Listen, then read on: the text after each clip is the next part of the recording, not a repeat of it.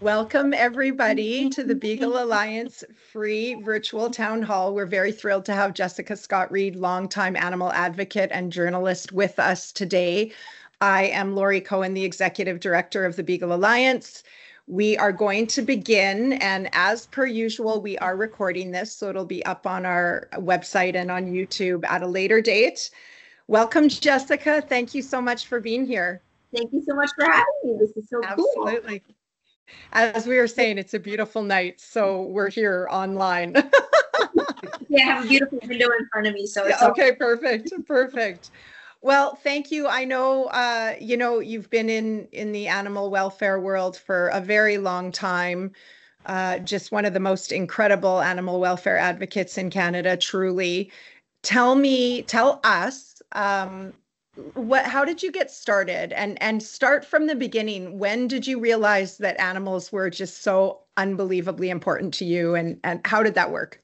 Oh gosh. If we're going to go right to the beginning go back. Go back. When i'm when i was probably i don't know eight years old, I'm trying to think about when Free Willy came out, the movie Free Willy. Because honestly, that that was a catalyst for me. That was when not even not even just Free Willy, but there was a time when I was a child, there was a club called Kids for Saving Earth in the 90s. That was the beginning of when we started fighting um, against um, I guess it wasn't even climate change at the time. It was the ozone layer, the hole in the ozone layer. Yes. So this was way back in the 90s as a child when I knew I cared about animals and the planet. And I was trying to find these resources and these clubs. And that evolved as I grew up and as the culture in the world changed to care more about animals and the planet. Um, and when I was in university, I became a vegetarian for a short time. Uh, at that time, there wasn't as much resources as we have now, so I didn't do a very good job of it. Uh, and then right before I had my daughter, Clover, um, almost eight years ago, I really had to reevaluate my values. And that's when I realized that um, I wanted to go vegan and I cared so much about animals that I couldn't feed them to my daughter. But in the meantime, before that, both personally and professionally, I was going down this path of animal welfare. Before you get into veganism, there's always animal welfare. And that's when I was starting to look into things like animal research, um, circuses, zoos, the use of fur in fashion, all of these sort of outside of food scenarios, food scenarios that that I really started to to find I could make a difference. And I started writing about them as a journalist in my work. Um, and that all came together when my daughter was born, both um, as a writer and as a person. Um, caring about animals both in my everyday life and in my writing work. And things have just taken off ever since. And so now i do this job full time and i live it full time too. That's amazing. Yeah and the key is that you live it full time too. You're it is an actual part of your world. Um, now tell me on that note there's always one and and maybe it's not true for you because it sounds like the whole free willy and just learning about what was going on in the world which is super cool. Um, was there a specific animal growing up in your life that that you had a, a bond with that maybe mm-hmm. you realized okay this is an important relationship to me? I mean i think for so many of us it starts with with our companion animals. I grew up with cats um, I remember riding horses as a kid at uh, Lazy H Ranch in Birds Hill Park, and as I don't think I've ever told anybody this story before, but as a as a, a kid, a preteen, we would go on these trail rides, and there was um, horses we would ride, and the the cowboy who was in charge of setting up these trail rides, and you know these horses, they're walked this same trail over and over and over again.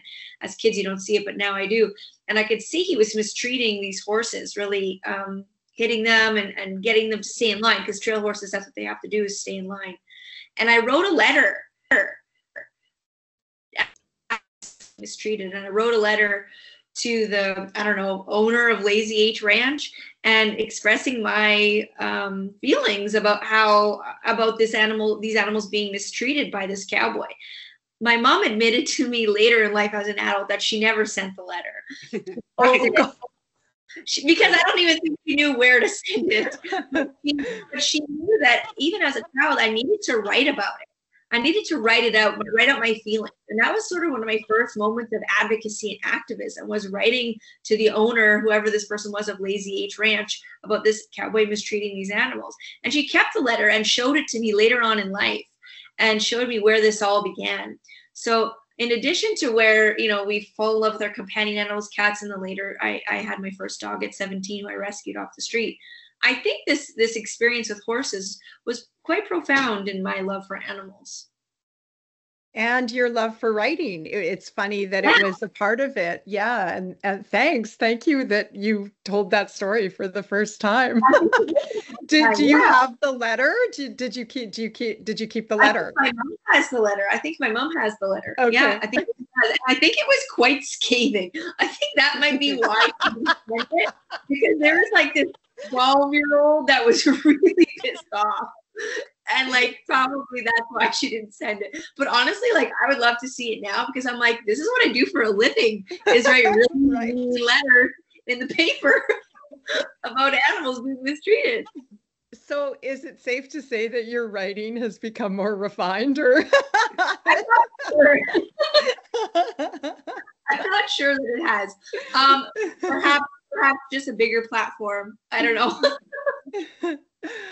Awesome. Oh, that's so good. Um, what tell us about a little bit like tell me more because I I don't uh, honestly I wasn't really in I loved my animals and um and I really until I met my dog behind me that you commented on his picture I didn't really know about animal testing I just had my relationship with my animals I knew it was special I was not in the animal welfare world until I found out about animal testing uh, when I adopted my rescue beagle. So mm-hmm. I feel and and then I worked for a US organization. So the, I wasn't really in tune with Canada and I feel a little bit like mm-hmm. I'm playing catch up in the animal welfare world now mm-hmm.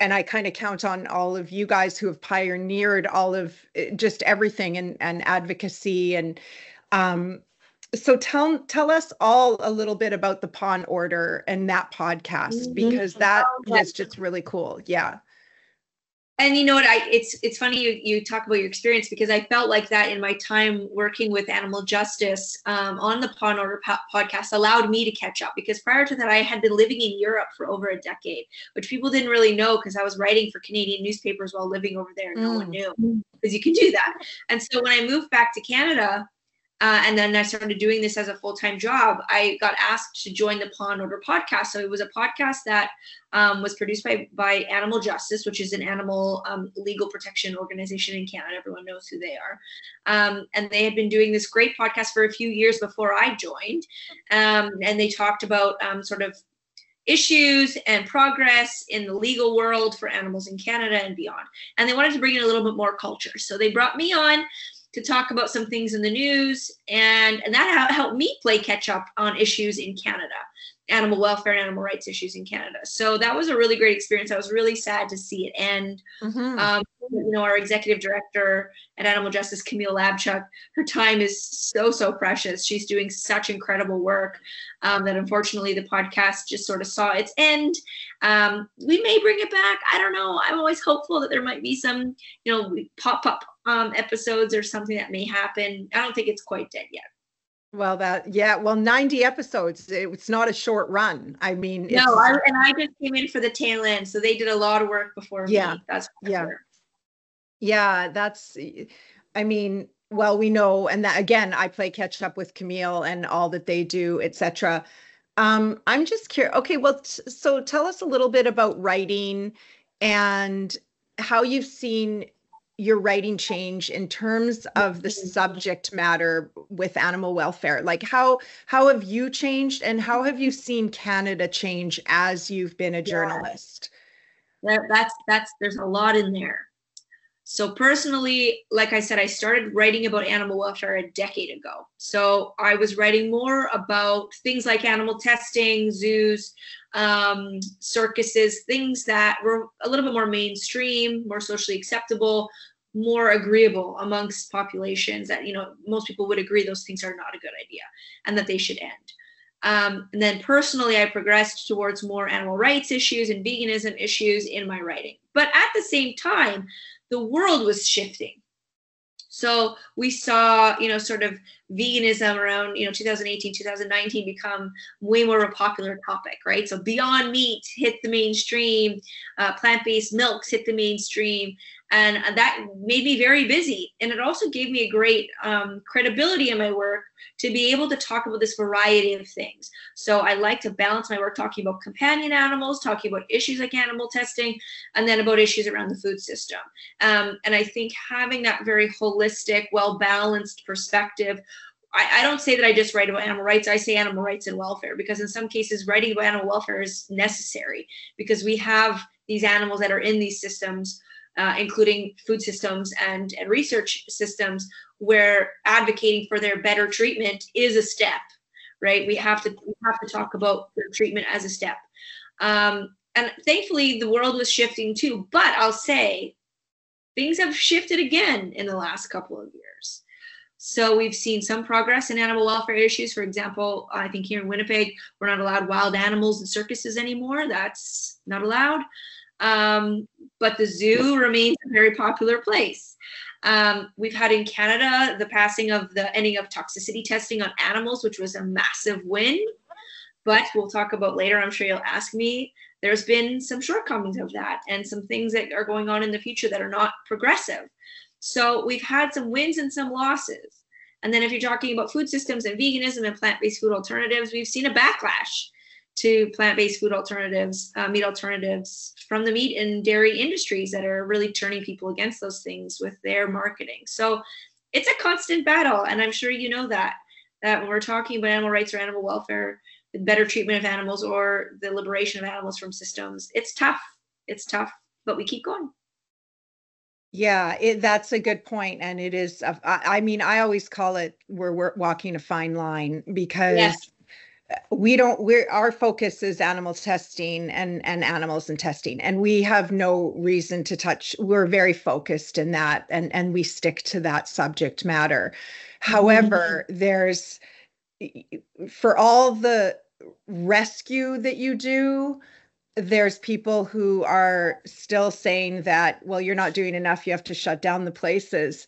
But the thing is is that that's where the animal welfare comes in because you there's animal yes we are trying to advocate for non-animal use in research. However we also have to have a relationship with the facilities or create a relationship with the facilities because there's animals there who will be there for years. Animal testing isn't ending tomorrow and therefore we can't hate on the facilities. We need to work with them so that there's a welfare system going on within the laboratories and that rehoming can be a part of it. But then on the flip side, rescue the animals and advocate. And so you're just walking this tightrope all the time. I, is what I feel you're saying. And they're there right now, right? The animals are in these systems right mm-hmm. now, whether it's the research systems or the food systems, they're there right now.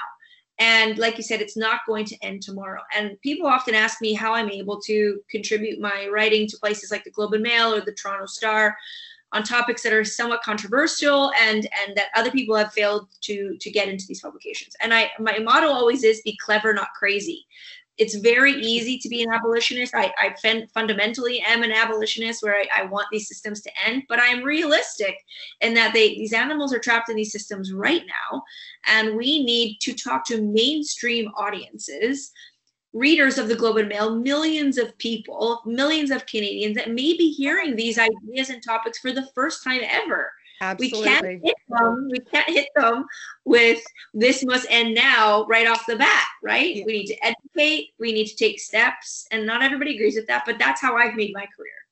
Yeah, no, I couldn't agree more. That is the basis of how we work.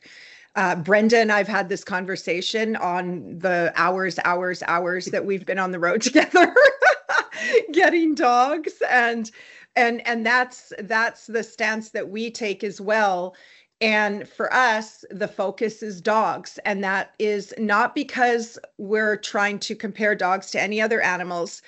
The bottom line is that every single person in Canada either is in love with their dog, has a dog, or knows somebody who has a dog and is in love with their dog. Dogs, by far, are man's best friend, for lack of a better way of putting it And the way in our, my, our at the Beagle Alliance, our humble opinion is that we're the, the end of animal testing begins with the dogs. Yeah, I think you're absolutely, absolutely right. I've written about this before. We call them, you know, the gateway animal, right? So, right? I mean, if ever, if anybody's ever heard of Elwood's dog meat, yeah. So yes. it's a very clever activist strategy, Elwood's dog meat, and, and it's based on the fact that people care about dogs. And you can get people to consider things they've never considered before when we utilize our love for dogs. Yeah. And I know I've written before about the amount of dogs that are used in animal testing and research and education in Canada. The numbers, of course, are staggering in the thousands and people are shocked. Mm-hmm. And if you were to use that same conversation about mice or rabbits, they're less shocked because first of all, those are the those are the stereotypical animals used in research exactly. that people think about, and it's like they're more they're more willing to just excuse it, right? Like, oh well, we it's that false dichotomy. Oh well, we need to test on those animals to be able to save humans, but the minute you say it's dogs, they're like, well, wait a minute wait a minute, maybe yeah. we don't maybe we don't need tests on animals to save humans. Oh really? Oh really? well that's and it's true the relationship is significant it's important it's it is definitely you know as you say the gateway it's we see i mean we see it all the time so many of the people who even apply to foster or adopt are mm-hmm. it's because they're in love with dogs and and thankfully um, and that is somewhat of a blessing for us yeah. because, of course, it, for the most part, 90% the people that apply, we get, we get the opportunity to educate them about animal mm-hmm. testing. And all they want to do is help a dog or a beagle, right. a beagle right. mostly. um, takes a special person to have a beagle. Um, yeah. but I've had it before. It, it, it's a special experience. yeah, it's yeah. Even a even a um, moderately non-traumatized beagle is, is a is a problem child sometimes. But um, anyhow, but uh, mine actually I, I, was sitting here distracted for a moment because mine was walking across my dining room table while i was on here. And i thought oh yeah if brenda could see this she'd be calling me a bad mother. And uh, i can't do anything because she's doing it. And she must somehow know i can't leave the screen right yeah. now. No they know. They know when you're on a meeting and you can't walk away. You're, yeah you're, exactly exactly. They know yeah yeah, no, but I I so agree with you and I love hearing it because I think that is absolutely clever and and it is I mean you have to be pragmatic in that way. You are reaching so many people through the globe. That's who you want to reach.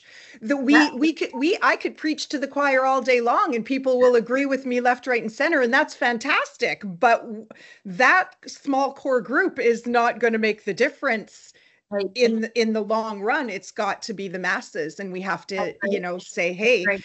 and i like to tell people too uh, is that because animal testing testing on animals doesn't translate you don't have to it is a societal issue you don't have to be in love with animals to realize that animal testing is a waste of our taxpayer dollars and it's not curing your grandma's Alzheimer's tomorrow or any other day. And that's a big deal.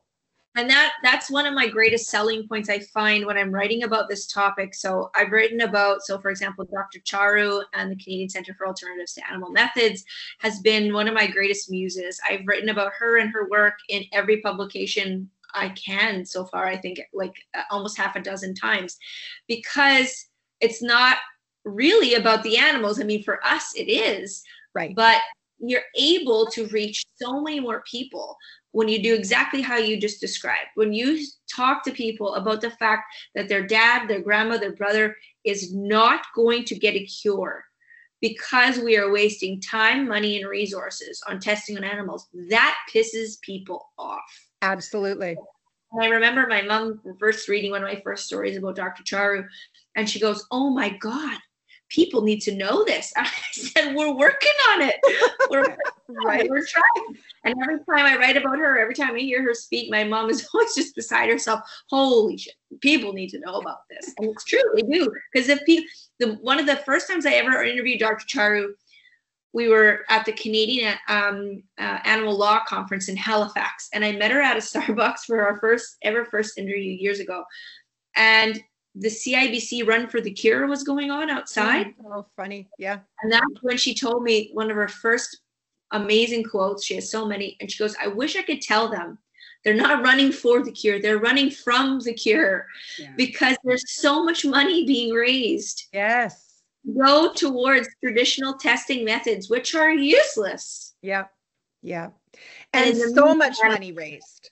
I mean, billions of dollars raised and i and and personally and and i, I i'll just obviously i'll say this personally as a charity uh that you know i mean I, what i wouldn't give for like 1% exactly. of you know exactly. to be able to save animals and get them the medical help they need and truck around the country you know getting these dogs across north america i mean it, it's it's so the opposite of what needs yeah. to happen. And also, what I wouldn't give to have that money go to centers like Dr. Charu's, who we know yeah. are both saving humans and animals. And the interesting, the interesting thing about I, I visited. Uh, I I took a tour a couple years ago at, at when we were at the animal law conference, Charu and I went back to her center. And it was such a simple statement that one of her scientist students said to me, but it was so profound for me. I felt kind of dumb that it didn't hit me before. But we were talking about things, and he was showing me uh, organ on a chip. You know, he was showing me all the different mm-hmm. alternative we're going to call them alternative right now, but of course we want them to be the normal.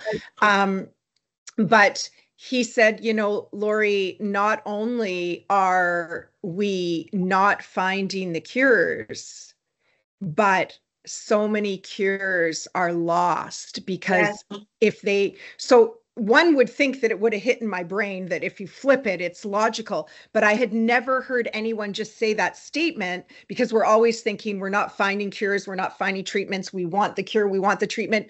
But the opposite, then, of course, is true we are not if the model doesn't translate right. we're discarding possible treatments that aren't working in animals that could have worked in humans. So the flip we're just spinning our wheels really they're sitting on a shelf somewhere they're sitting on a shelf somewhere because they didn't pass animal testing trials in this what dr charu and myself agreed to say this archaic system yeah. that needs to be changed. And the unfortunate thing is the the most unfortunate thing, which is embarrassing, and I have her permission to talk about this, is that we're about to lose the center. Okay, Literally, I wasn't sure if you had permission. I had a feeling you were going to say that. Okay.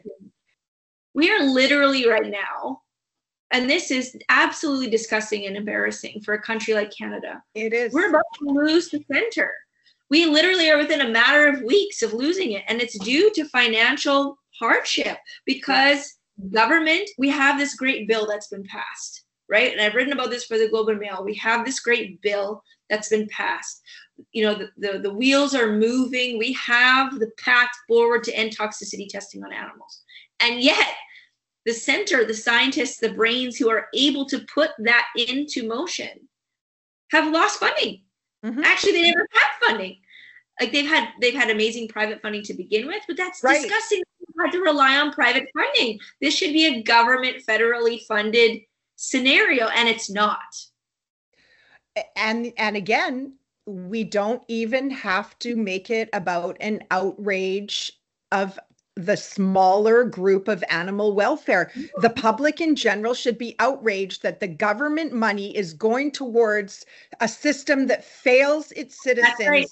in the health world and will not and has never offered funding to a system that would more readily translate than other countries in the world are funding. Other countries, they're federally funded centers for years. Like it's not even new.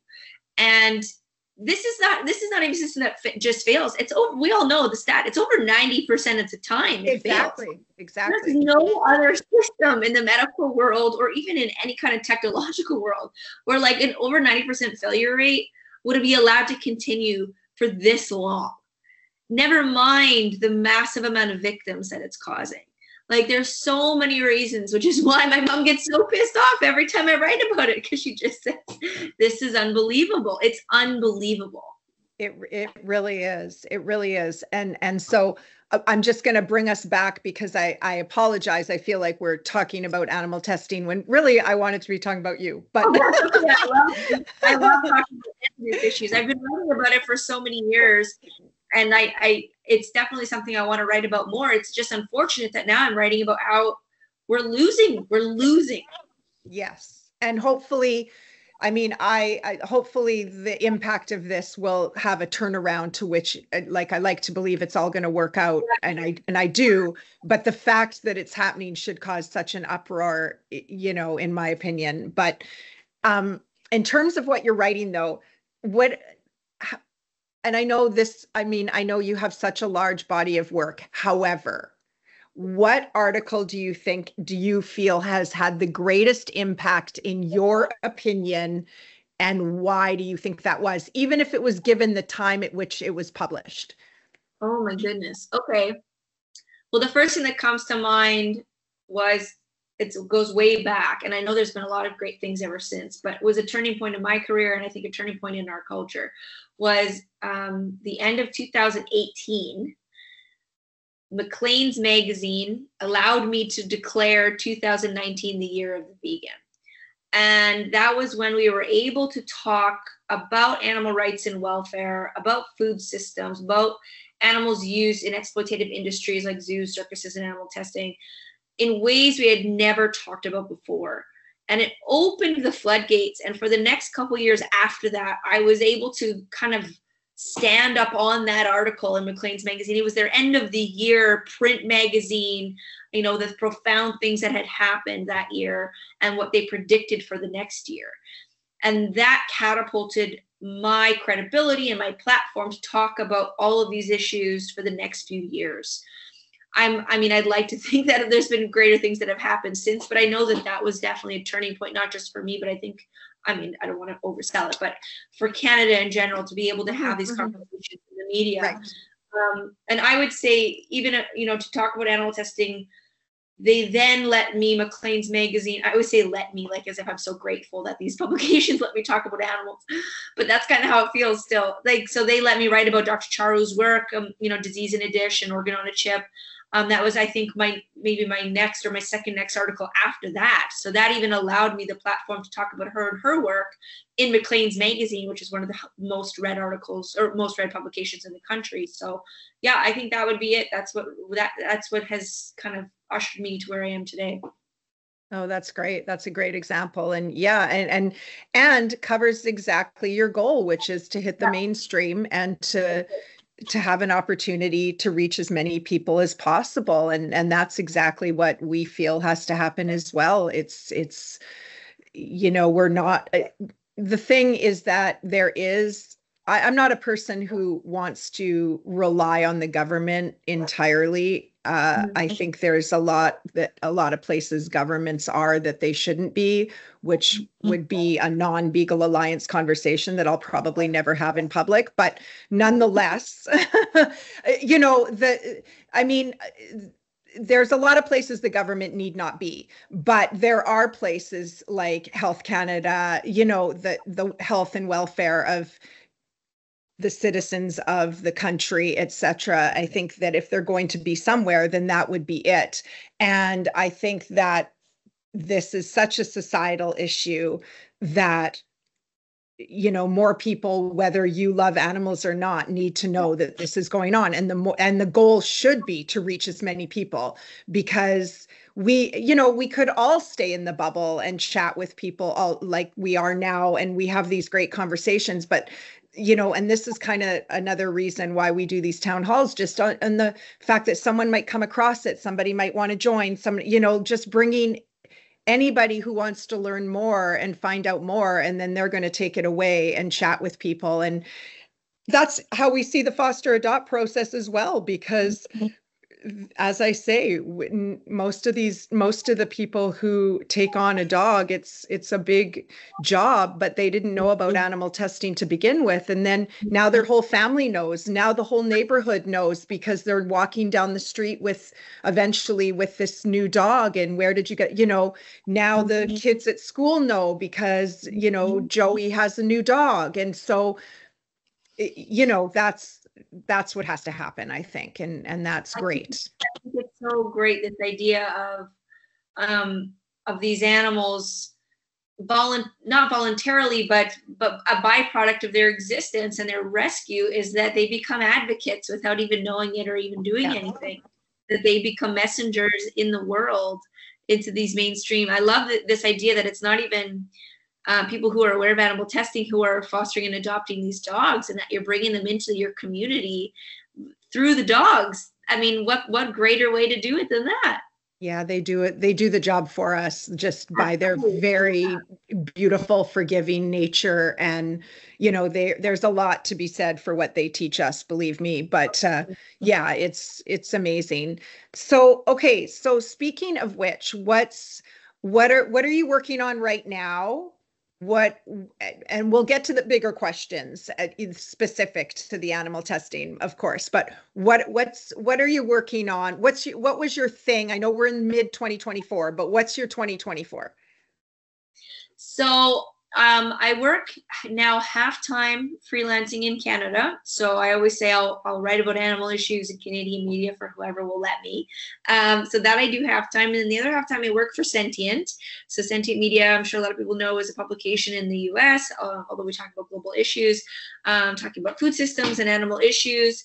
Um, so I write for them half time. Uh, I do a lot of culture writing for them. So right now I'm currently working on a really cool story about the homesteading trend that's been taking off on social media uh, and sort of the darker side uh, of animals um, dogs, cats, farmed animals who are being kept by these homesteaders um, that don't necessarily have experience taking care of animals or slaughtering them.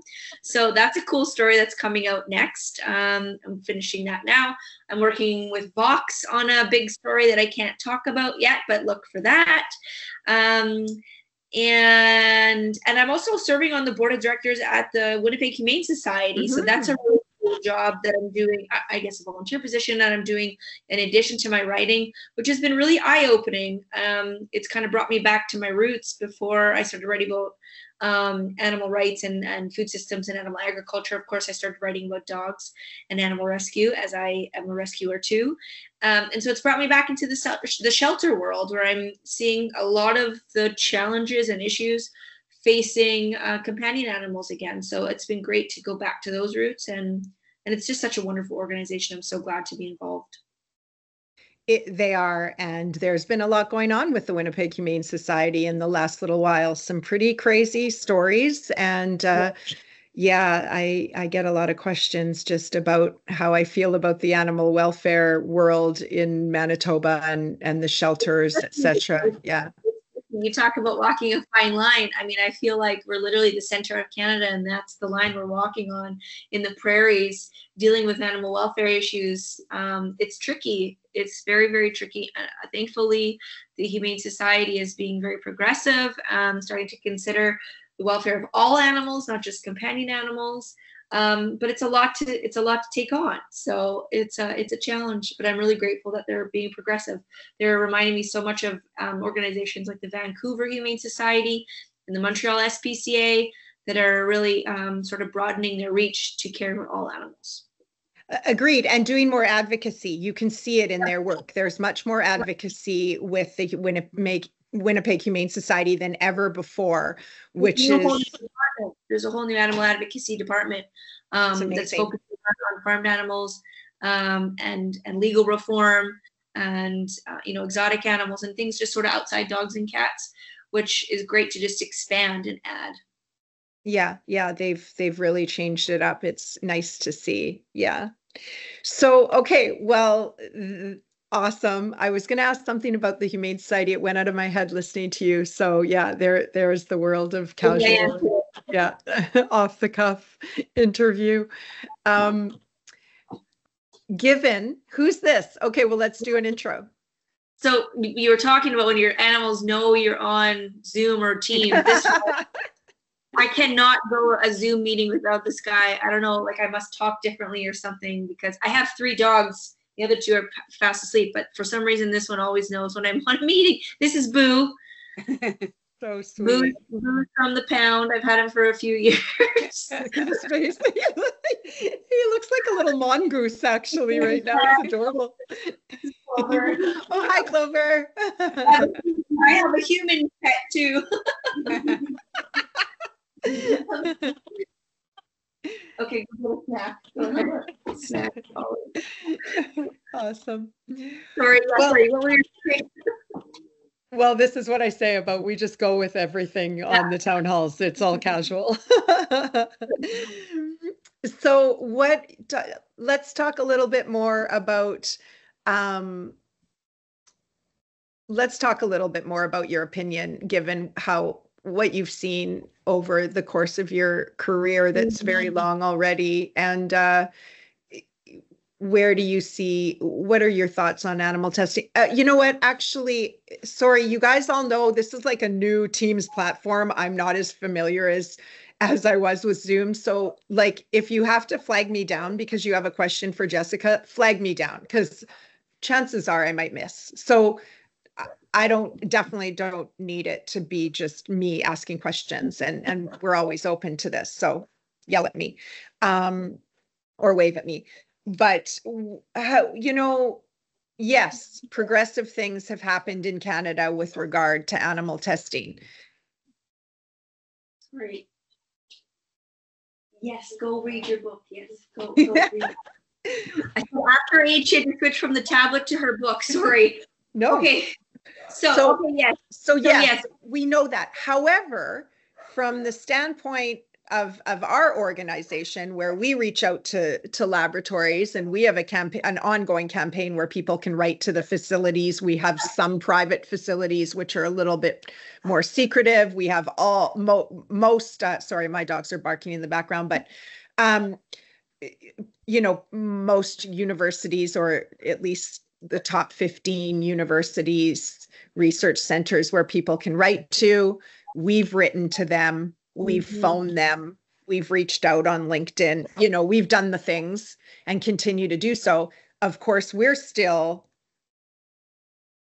placing dogs from US laboratories in yeah. Canada because we either get answers like we already have an adopt girls we already have an adoption pro you know the vet the veterinary care worker or the animal care committee or whatever they'll say we already yeah. have an adoption um, program or we i mean you believe that you believe that no, I don't believe. Well, I I did have one. I had one. Uh, I forget. I would disclose. I would totally tell you guys who the university was that said sent me their adoption protocol however, that could just be something they send. I can't remember which university it was.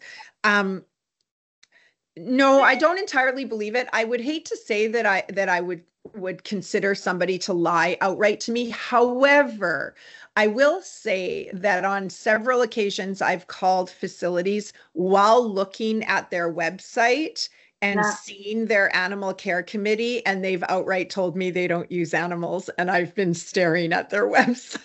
that's, that's the problem, right? We have this issue of zero accountability, right? Right. So like, and there's, there's no one checking. Yeah, I mean, I'm staring at your website. I can see that you have, you know, you have an animal care committee, but yet you're telling me you don't use animals. So right. I, how how am I supposed to believe this? Obviously, I don't. But so there's, and I did speak with one university. Um, I, I think it was uh, in Nova Scotia. It's terrible that I can't remember off the top, but the and it was in the news actually. We posted about it and it was how they were rehoming the animals. And cbc actually did a program. I think you sent that to me brenda. Yeah. And yeah remember that? And so I ended up speaking with the the veterinarian who did that, who did this program, and we had a great conversation. And he said, "Yes, I remember your letter because I had sent him a letter." And he said, "I know who you are." And he says, "However, you know, your letter wouldn't have gone anywhere. We're always nervous working with." Organizations such as mm-hmm. yourself. So then I had to say, well, I understand that. I said, however, mm-hmm. I'm not going to protest at your door.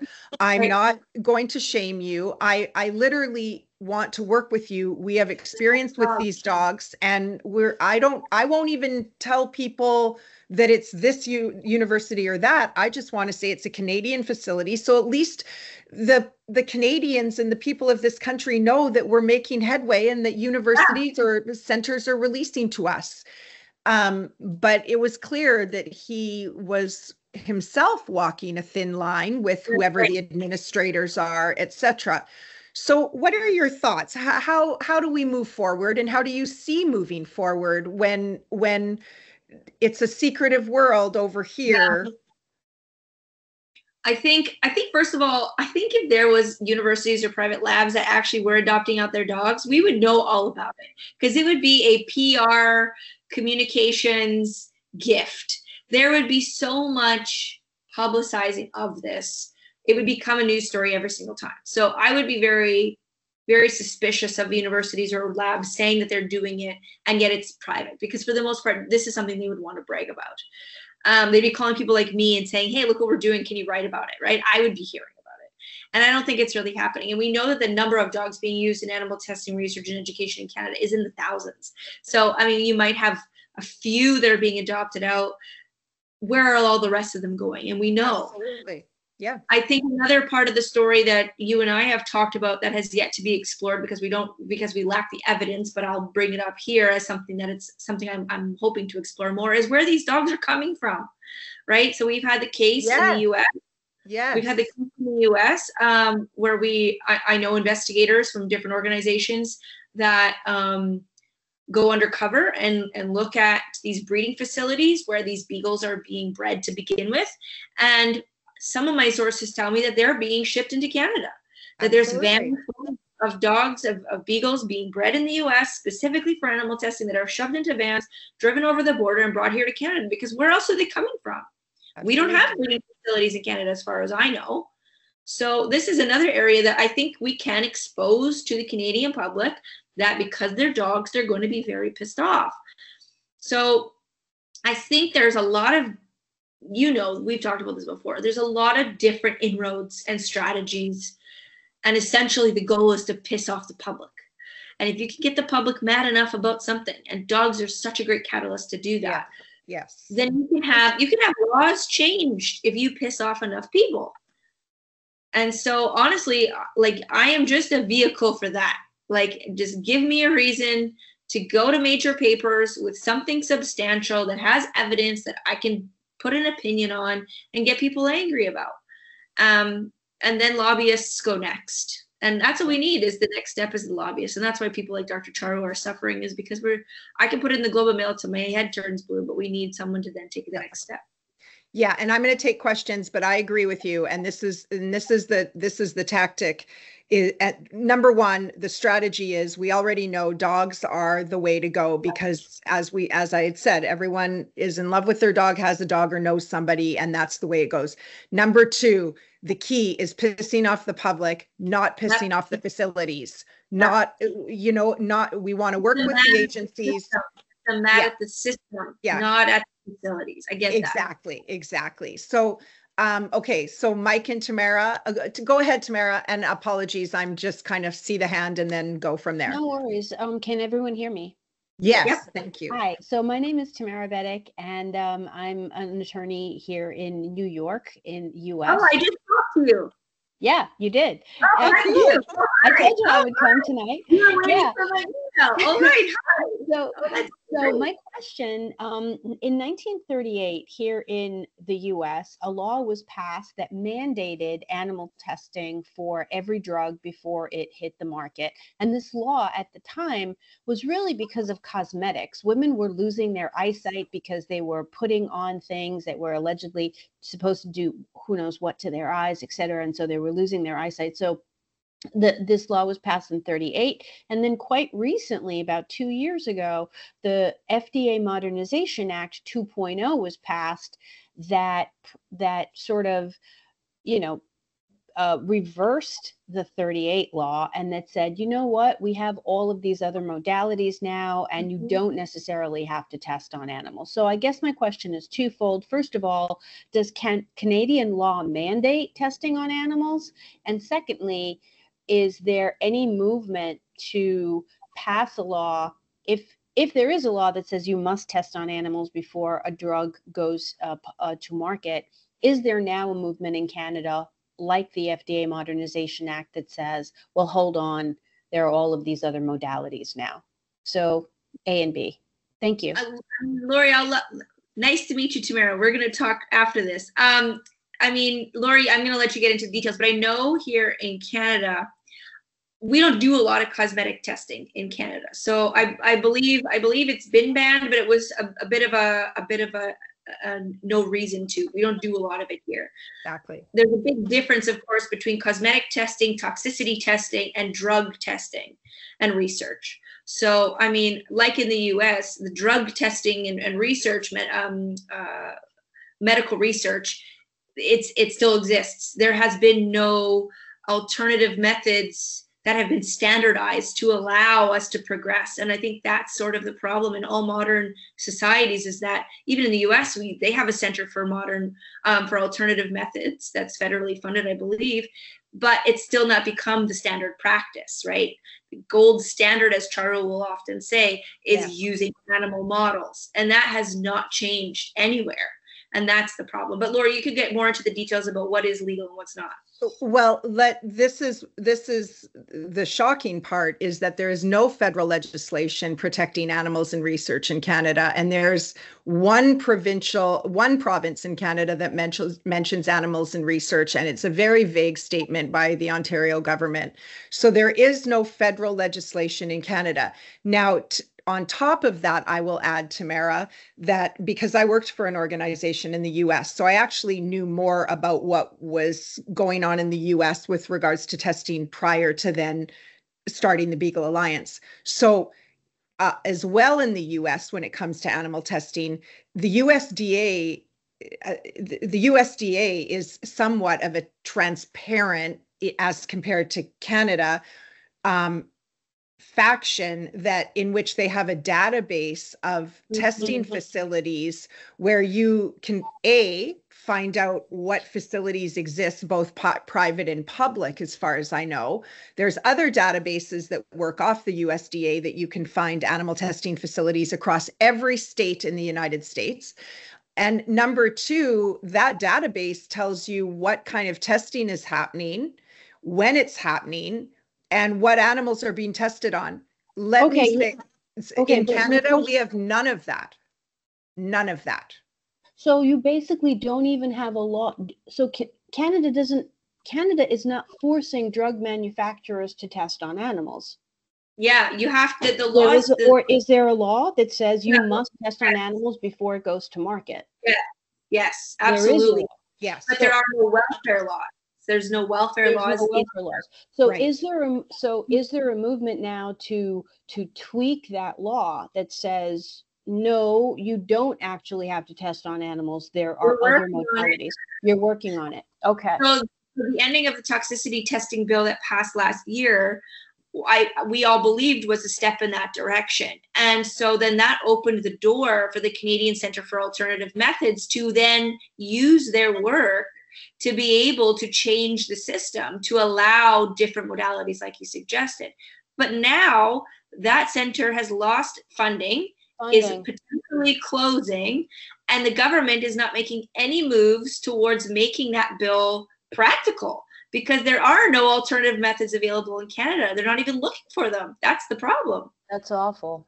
Yeah, Yeah. we're having a similar we're we're having a similar st- uh, stalled stalled situation here in that we passed this law two years ago that says you don't have to test on animals, mm. but the pharmaceutical companies have come back and looked at that law and said it's true now that we don't have to test on animals, but we don't have any guidelines from the Food and Drug Administration that we can follow so that we are not sued in case something with the drug goes bad. So that's the stage that we're on here legally.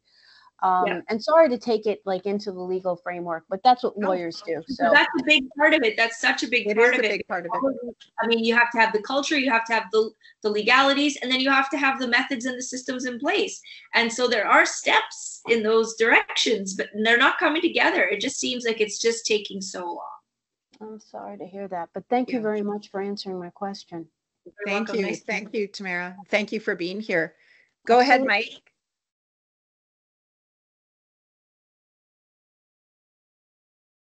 We can't hear you, Mike. I think he's muted. Oh yeah, it says you're muted there, Mike. There you go. picks the wrong microphone. You're good. I forgot what I was going to say. We can keep talking until you wave again. The, facility is saying or not saying that they they do work with they have a program for uh, exiting the animals. Part of that might be because they don't want people off the street pestering them to say, "I want a Could pup." yeah, that could be a good point. Y- And then y- yeah, May be a way for an organization like the Beagle Alliance to kind of strike up some kind of dialogue and or um, synergy with them so that when the animals are ready for retirement from the lab, then they would go to the Beagle Alliance for Mhm. distribution to their forever home. Mhm. Well, and and that's the goal, but I do want to t- thank you, Mike, and that is the goal. And I'm th- I think there's so many reasons why they say there's an adoption, you know.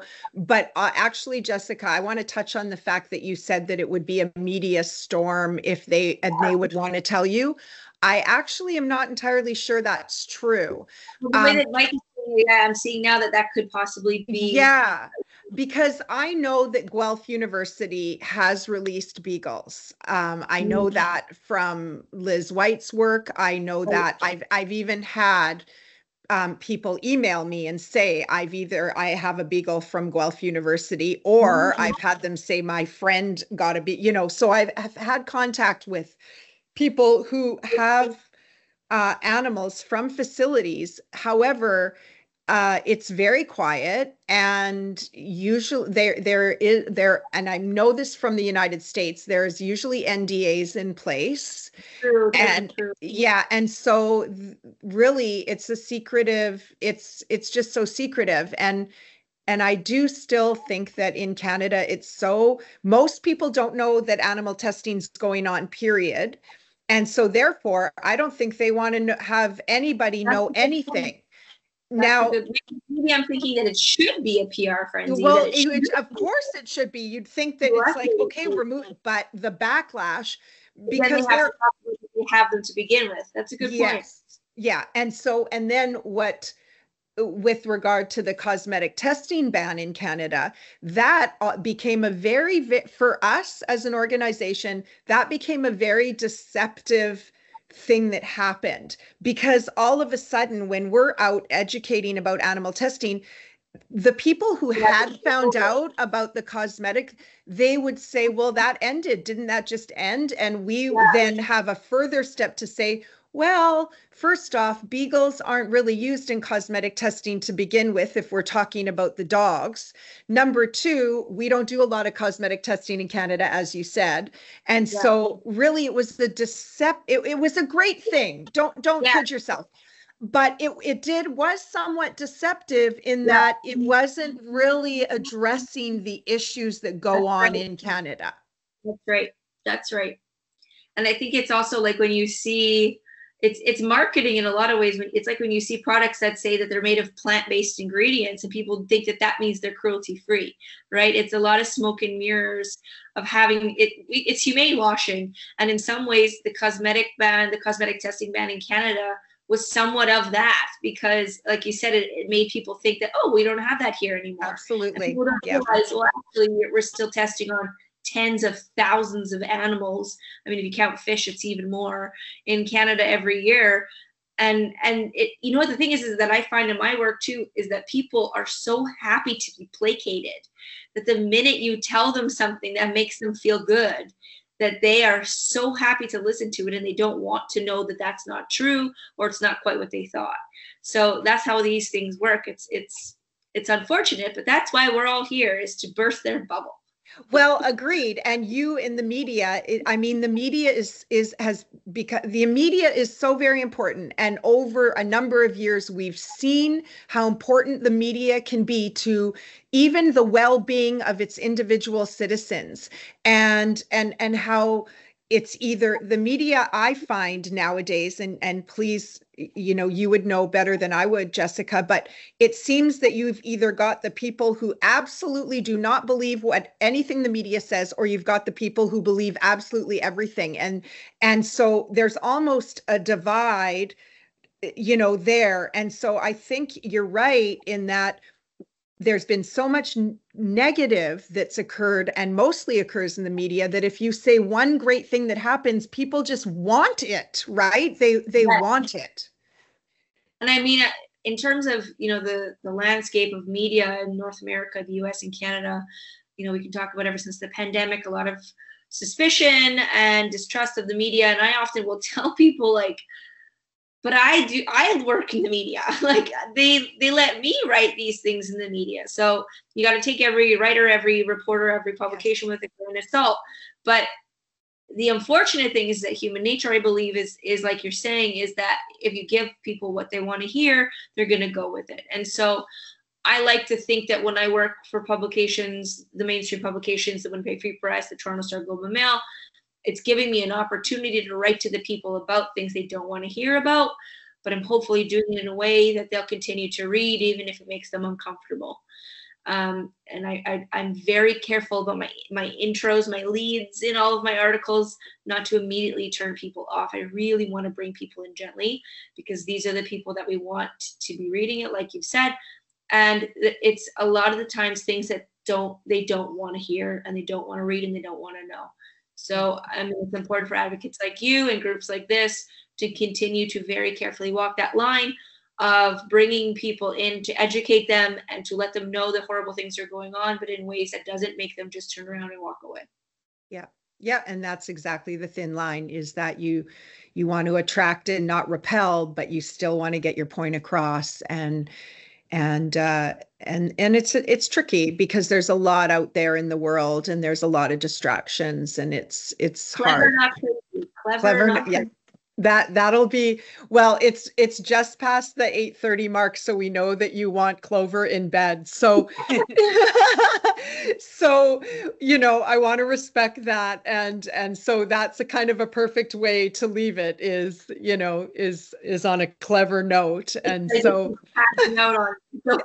yeah but thank you. I we could all. I mean, this is a great group. We could all probably go on and ask more oh, questions and yeah, for a long time, right? but we're always in for doing it another time. So please, yeah, yeah. So thank you so very much for sharing your insights and your experience and just you know honestly the amount of work you have done for animals over the years is just incredible incredible and and continue to do so in Canada. And let's hope that we see the change that we want to see in our lifetime and and going forward. That's the goal. So thank you Jessica for everything. Well thank you so much for having me. Uh, we got to be part of the community right? We only work if we work together. So thank yeah. you for having yeah. me Agreed, agreed. And thank you all as usual for being here because this is the whole point is for us to build a community and get together and and then go out in the world and take it to everybody else. So thank you guys so much. Um, we thank will keep you organizing. Absolutely. we will see you. Bye. We'll see you at the next town hall.